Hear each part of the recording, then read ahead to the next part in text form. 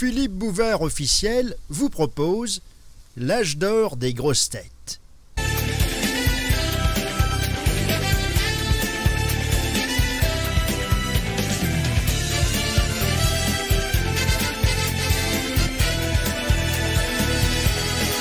Bonjour.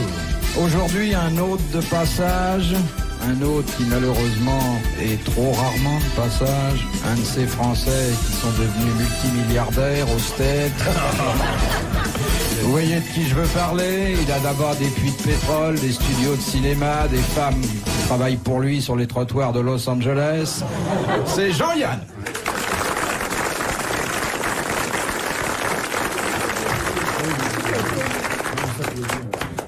Je dois dire Jean-Yann qui s'est mis sur son 31, une barbe toute neuve, encore que euh, un petit peu blanchissante sur les côtés, mais ça prouve qu'elle est récente. Ben oui, on n'y a que quand on se la laisse pousser qu'on s'aperçoit qu'elle est blanche. En revanche, la, la moumoute est d'occasion, hein. Il n'y a pas de plan. Et une cravate à l'artiste. Ouais. Ouais. Avec ça, place du terre, vous feriez un malheur. Mais, et puis j'aurais un chapeau comme ça, un chapeau de peintre aussi, on verrait pas mes, ma calvitie, mon alopécie. Ah, vous avez de l'alopécie J'ai une alopécie. Naissante. Enfin, elle est- il y a longtemps qu'elle est née. Elle est très belle, ton alopécie. Et puis, pour encadrer euh, Jean-Yann, pour lui expliquer euh, que rien ne vaut les berges de la Seine. Et, et pourtant, il y, a, il y a beaucoup de gens qui peuvent pas m'encadrer. Ça, c'est... Enfin, non, c'est pas vrai. C'est pas vrai. Non, non. C'est faux. Pour encadrer Jean-Yann et pour lui expliquer que rien ne vaut le pays, le vieux et cher pays, quelqu'un qui le quitte de temps à autre, Olivier de Kersauzon. Oui, bah. Il n'est pas souvent là non plus. Un homme qui passe tous ses week-ends à Tahiti, Jacques Martin. Pourquoi Tahiti? Bah, parce que je sais pas, on peut pas rencontrer une vainée dans Paris sans qu'elle vous connaisse. Mais moi, qui est, je, je me suis absenté pendant près de six mois là, et entre temps, je suis allé sur les traces de Martin à Tahiti. Alors? Et on m'en a raconté pas mal. Ah oui? Quel genre Genre Gauguin. Euh... Avec l'oreille en plus, Oui, quand avec même. la- Oui. Mais on vous a dit, il y a bon Martin ou pas Ah oui, oui, oui, si, réputation, si, si, il y a bonne Oui. réputation quand même. Les femmes ont dit ça Oui. Les femmes ont dit. tout le monde. bon, Non, mais dis donc. je, te, je demande à Jean, j'ai le droit quand même. Non, un peu tout le monde. euh. Vous avez visité sa case, car je crois qu'il y a une une plaque maintenant. Case vide Case de vide, oui, oui, case de mais oui, vide. mais oui, ça a été une très belle pièces. pièce. Eh oui. Et celui qui vient de l'évoquer euh, l'aurait certainement très bien joué, enfin au moins en doublure. Moins bien que Jacques. Daniel Secaldi.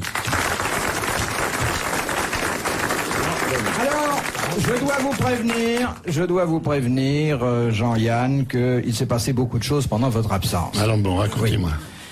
je parle pas seulement de la vie politique française, mais euh, nous avons coopté Olivier de Kersauzon, qui a fait naufrage chez nous euh, il y a environ trois mois. Et puis, notre émission est devenue nettement plus culturelle. Ah oui, non, les plaisanteries traditionnelles, c'est Ah bon, terminé. non, là, les- terminé. Oui, d'accord. toute allusion. euh, Donc je fais- dois faire attention, c'est ça Ça ne peut rien dire. Ça n'est plus du tout au-dessous de la ceinture, c'est légèrement au-dessus des genoux. Est-ce que vous avez de la main-d'œuvre qualifiée aux États-Unis, monsieur Yann Pourquoi faire dans le même domaine Oui. Oui. Bah, c'est pas ça qui manque, hein. Oui. Il y a des petites françaises? Alors, il y a tout. Non, non, il y a de la petite mexicaine, euh, basanée, il y, a du, il y a de la chinoise en quantité. Il y a de la chinoise. Ah, oui. bien. Non, non, vous savez que euh, j'ai dîné avec Jean là dès son arrivée. Et effectivement, il faut dire que les Américains, à partir de 20h, sont beaucoup plus gâtés que nous. Il y a des guignols pour le slip beaucoup plus marrants. Ah oui, ça c'est vrai. Mais Qu'est-ce que vous appelez guignol pour Je le ne peux rien slip vous dire. un peu hermétique. comme Regardez-le, le- regardez-le, regardez-le Regardez-le Ah, il va pas dormir ce soir Ah, je le sens là Ah là là. Moi, ça m'est égal, mais. Non, non, je sais bien. Je sais que Daniel Secaldi qui sort peu. Ah oui, euh, mais c'est pas pour le slip, c'est par définition quand on l'a plus. Bah, Je peux vous dire qu'on a encore quelques années de retard, voyez-vous. Ah oui Ah, Vous pensez au bain collectif Non, c'est pas du, non, c'est, surtout dans le domaine du caoutchouc. si j'ose me permettre ça. Oui. Et alors, je peux vous dire, mais alors là, je vais parler à mots voilés. Oh, bah, J'espère que dans les familles, on fera attention à ne pas traduire aux enfants. Un certain nombre d'accessoires dits de suppléance. C'est Hein, bien dit, hein N'est-ce pas étaient jusqu'à maintenant euh, de couleur rose dans les établissements spécialisés. Oui. La dernière manifestation antiraciste de San Francisco, où se rend souvent Monsieur Carsozon, a permis que on, on- on a été obligé, on a obligé les gens qui vendaient ça à en faire de couleur noire, pour pas qu'il y ait de discrimination raciale. Ça, c'est quand même un grand pas de Ce qui fait que maintenant, selon la couleur de votre peau, vous pouvez euh, Oui. acheter des accessoires de suppléance qui vous font pas immédiatement remarquer, parce qu'évidemment, euh, J'aimerais aussi euh, si vous êtes, signaler- le problème est que si vous êtes euh, Si vous êtes noir français, avec un, un radis rose, Oui. ça se remarque. De- et si vous êtes rose de confusion avec un, un radis noir, alors là, évidemment, c'est... Ah, c'est très gai la nuit là-bas. Ah ouais. Ah, on n'a pas ça chez nous, hein. De Monsieur Wedr... Wedraogo. Vous voyez, ça, ça le fait bafouiller quand on aborde ce sujet.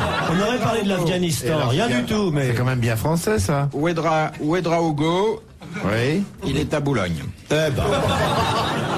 Il y a des squatteurs partout, hein. Qui a dit Quand un homme parle à un autre homme qui ne comprend pas, et que celui qui parle ne comprend pas non plus, c'est que c'est de la métaphysique. C'est vrai en plus. C'est un contemporain qui a dit ça. Ouais. Non. C'est américain, ça, ou anglais. Non, Non, bah, là, bah, vous dites ça, c'est français. Non, il y a des- le caoutchouc, c'est américain. L'esprit, c'est français. C'est 19e, alors. C'est pas Oh, des- oui. 17e. 17, 17, 18. Mais en 17e, euh, C'est un homme d'esprit. ça qui a dit n'existait pas la métaphysique. Bah oui, ça me paraît curieux. Si, si, ça existait. Ça, ça a été inventé. Ah non, non, non, non, non. Ce serait pas le jeune Harway C'est le jeune Ah, Harvey, c'est- c'est ah, ouais. Voltaire. Bonne réponse de Jacques Martin. Les grosses têtes dans la nuit des temps sur RTL de 4h à 4h30. De Madame Doucet d'Arpajon. Ah. Quel est le seul animal qui possède un système admirable? En quoi consiste-t-il et à quoi lui sert-il? L'éléphant. Non. Bah, vous avez jamais vu un éléphant, parce que je veux dire qu'il a un système admirable. Ça faudra aller au zoo, vous serez épaté alors. Ça rabaisserait le caquet à plus d'un. Ah oui, alors. Mais pourquoi l'éléphant euh, Bah, parce que l'éléphant a un système admirable. moi, quoi. C'est étonnant pour nous qui sommes que des êtres humains. euh, Le système de l'éléphant est étonnant. Alors il y a le lapin qui a un système admirable quand il a un rein en moins. Admirable. Ah, admirable Oui,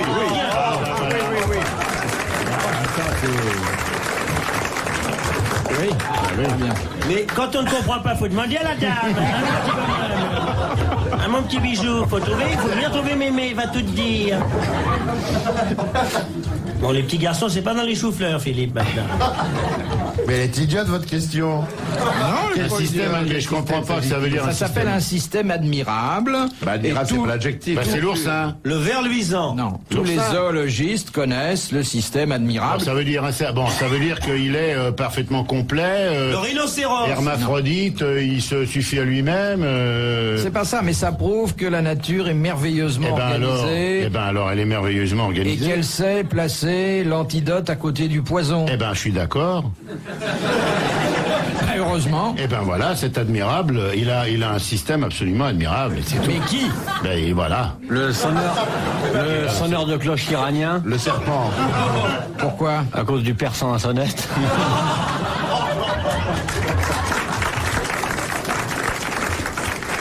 Alors le, et pour moi l'animal. un serpent, non?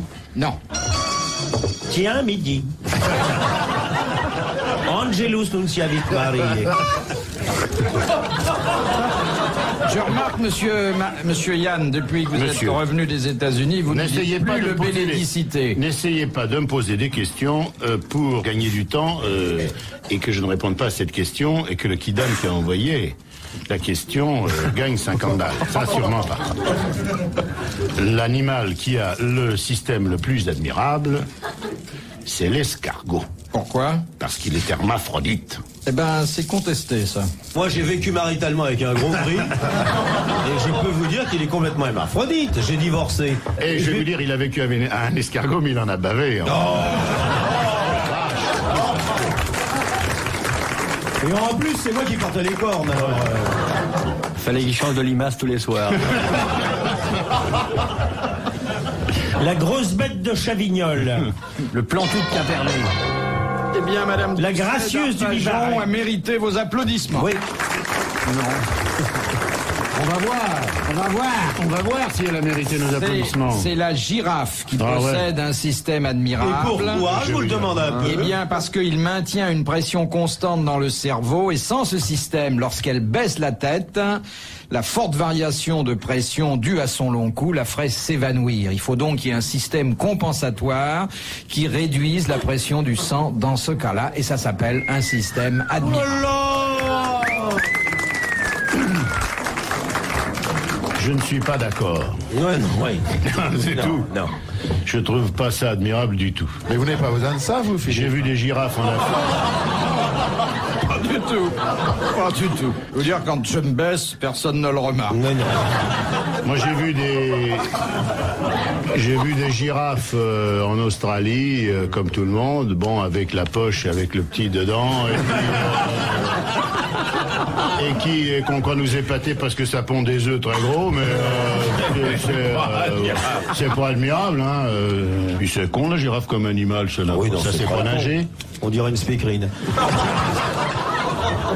Ah, c'est con la girafe. Ah oui, la girafe, honnêtement. la girafe. J'ai jamais vu une girafe. Moi j'ai une girafe à la maison. J'ai jamais vu ouvrir un livre.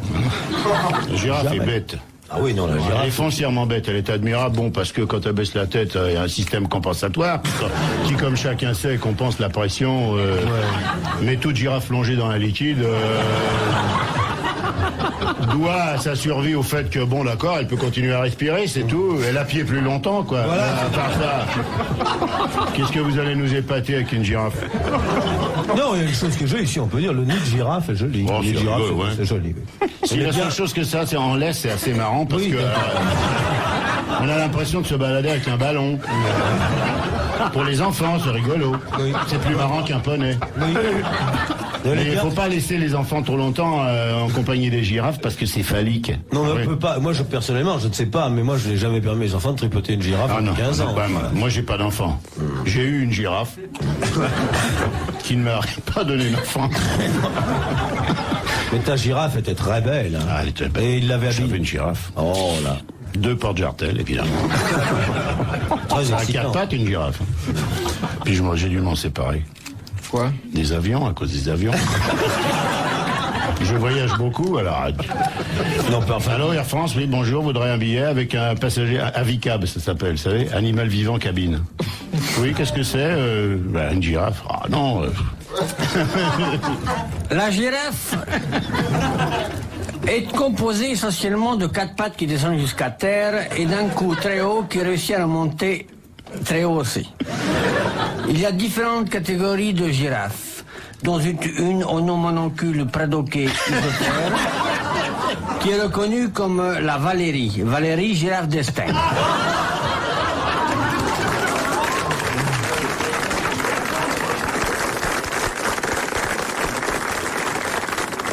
Cet animal pond des œufs ronds et jaunes qui se ressemblent étrangement à des œufs de poule très grosses, mais à la différence que l'œuf euh, de la girafe possède un très grand cou. Ses quatre petites pattes. Lorsque la girafe se doit d'accoucher, elle se recherche un monticule, car si elle laissait tomber le bébé de la hauteur de l'enfant. C'est pour ça qu'on ne rencontre pas beaucoup de girafes à Pigalle et qu'on y rencontre plutôt des grues couronnées ou couronnables. La girafe possède un, teint clair qui peut s'assombrir euh, si la nuit se couche.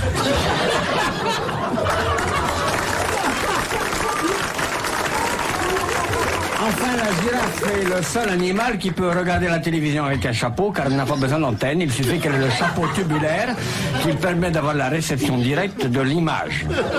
Image, voir page 418.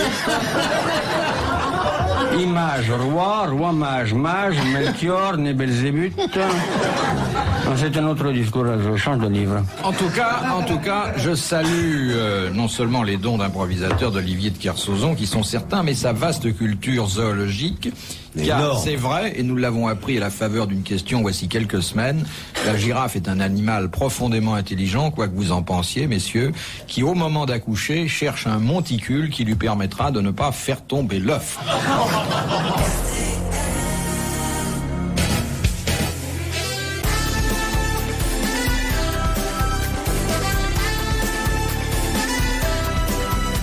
Olivier de Kersauzon, Daniel Secaldi, André Gaillard, Philippe Bouvard, c'est les grosses têtes dans la nuit des temps spéciales. Jean-Yann et Jacques Martin. de Madame Lagrange, de Paris. Il a dit. La girafe ne peut pas rentrer dans la grange à moins que le toit de celle-ci ne fût découpé. On retire Il vient différentes de dire pièces la girafe fait un œuf. Vous l'avez dit ça il y a deux minutes. Ouais.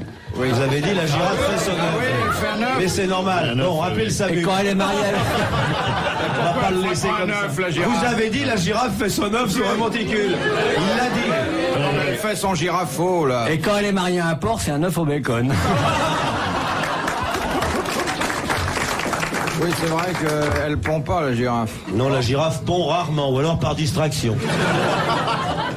Ça dépend. Vous avez déjà vu une langue de girafe C'est hallucinant. C'est le seul animal dont le quota lingual soit équivalent à plus de 23% de la hauteur statuaire de basse colonne. C'est-à-dire qu'on prend la mesure au garrot divisée par le tiers du poids de la circonférence voluminique des pattes en position. Non, c'est vrai. hein. La langue- non, ça, c'est vrai, C'est étonnant. hein. Alors, Madame Lagrange, de Et Paris. alors moi, je m'excuse, je vous dérange peut-être, c'est pas gentil. Mais, Tu vois, si je fais par exemple un sauté de mouton printanier, si je fais un bourguignon, je l'aromatise toujours avec un oignon et deux clous de girafe. Ce qui nécessite d'immenses casseroles. Le clou de girafe est indispensable dans, le, dans la cuisine française. Oh, il y a des coups d'œil qui recèlent tant de haine que l'on regrette. Mais non, mais Philippe, vous, vous avez Quand je vois au-dessus de la buée de vos lunettes apparaître ce petit circuit haineux qui vient me vriller au plus profond de mon cœur breton, naïf et provincial.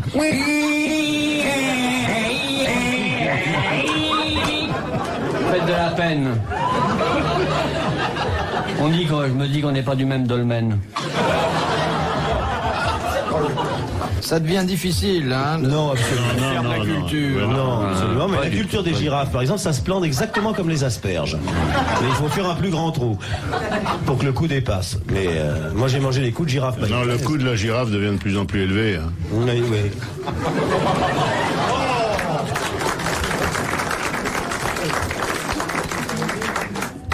Alors, la question de Madame Lagrange, de Paris, est celle-ci. euh, Philippe, pas, pas, pas de nouvelles questions sur les girafes, merci. Quel est l'auteur de C'est à l'opéra peu près de 5 mètres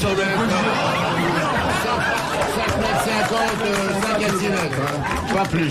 Ah, pas Les plus. cornes en plus, parce que... euh, Et si hausse du col, alors là, évidemment, ça peut... Quel est l'auteur de l'opéra intitulé La nonne sanglante? Comment vous dites Alors au milieu d'une atmosphère, enfin dans une atmosphère détendue, euh, sympathique. souriante, sympathique, d'un seul coup des trucs d'horreur, alors et des machins, des- Comment vous dites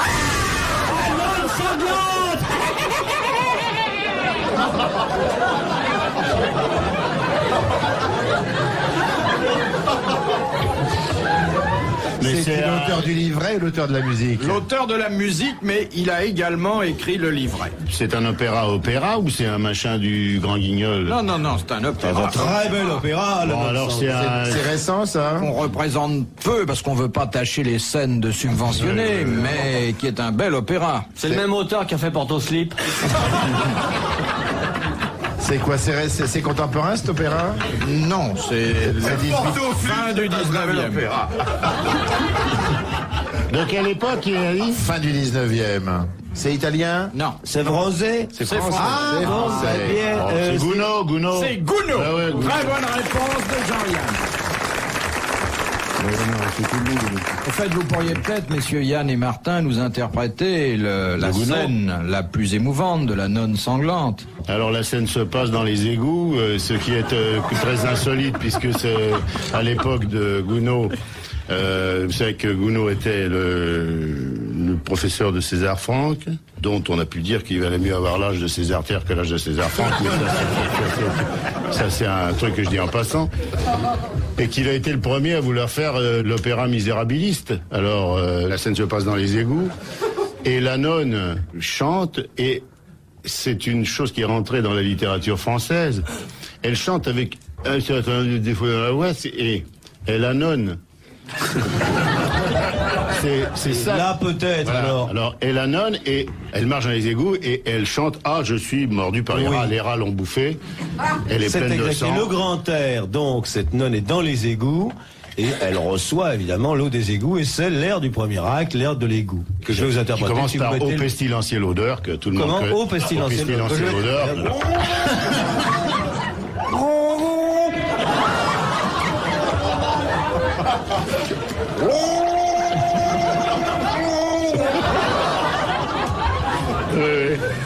L'arrangement est de Jean-Sébastien Bave. C'est Gounod tout craché. Ah, Non, mais Gounod. il y avait quelque chose de dramatique. Je sens l'égout qui tombe lentement sur ma cornette. Un rat dans mon soutien-gorge. La bête monte le long de ma jambe. La poitrine basse, hein.